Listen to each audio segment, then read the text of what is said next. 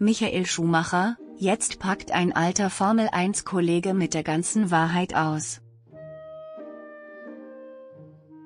Michael Schumacher war vor seinem schweren Skiunfall im Jahr 2013 Formel-1-Rekordweltmeister.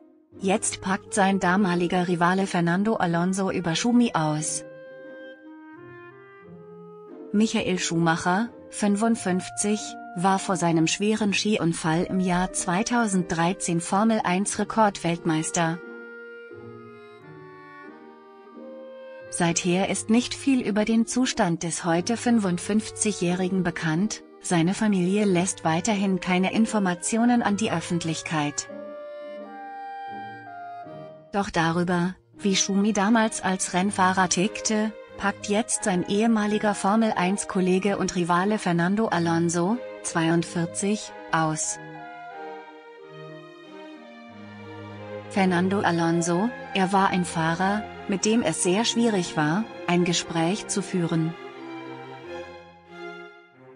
In einer DAZN-Dokumentation packt der 42-Jährige nun über Michael Schumacher aus, und hält sich dabei nicht zurück. Er war sehr kalt, hielt immer Abstand und versuchte immer, einzuschüchtern. Er war ein Fahrer, mit dem es sehr schwierig war, ein Gespräch zu führen, erzählt Alonso. Schumi soll ein wirklich harter Kerl gewesen sein, der aus seiner Rivalität zu Alonso keinen Hehl machte. Wenn man zum Frühstück kam, schaute er einen immer ein bisschen komisch an.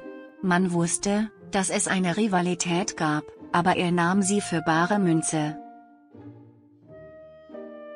Trotzdem habe der Rennfahrer Michael Schumacher irgendwo bewundert, ein Rivale, eine Rivalität, aber auch eine Inspiration.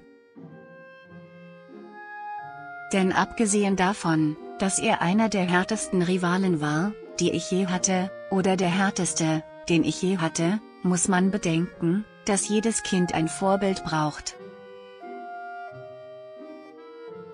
Weswegen Alonso von Schumi lernen wollte, er begann ihn zu beobachten, wie er sich verhält, wie er reagiert, wie er sich kleidet, wie er fährt.